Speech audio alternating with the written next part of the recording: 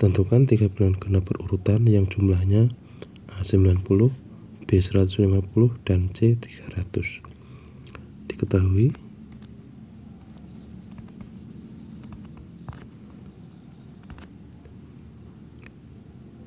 bilangan X pertama adalah X plus bilangan bilangan genap kedua adalah X plus 2 ditambah bilangan genap ketiga X plus 4 X plus 4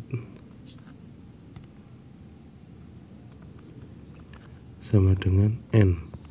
N adalah jumlah ketiga bilangan tersebut. Jadi 3X plus 6 sama dengan N. Baik kita kerjakan yang A.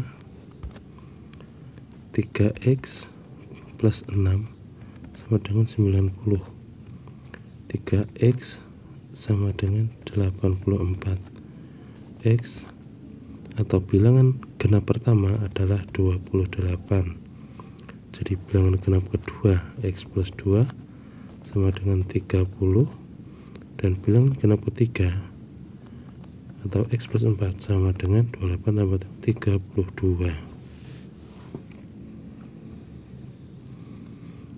B 3x plus 6 sama dengan 150 3x sama dengan 150 dikurangi 6 144 x sama dengan 154 dibagi 3 48 jadi bilangan pertama adalah 48 bilangan genap kedua adalah 50 dan bilangan genap ketiga adalah 52 oke yang C terakhir 3x plus 6 sama dengan 300 3x sama dengan 300 dikurangi 6 294 x sama dengan 294 dibagi 3 98 jadi bilangan genap pertama adalah 98 bilangan genap kedua adalah 100 dan bilangan genap ketiga 102 oke demikian.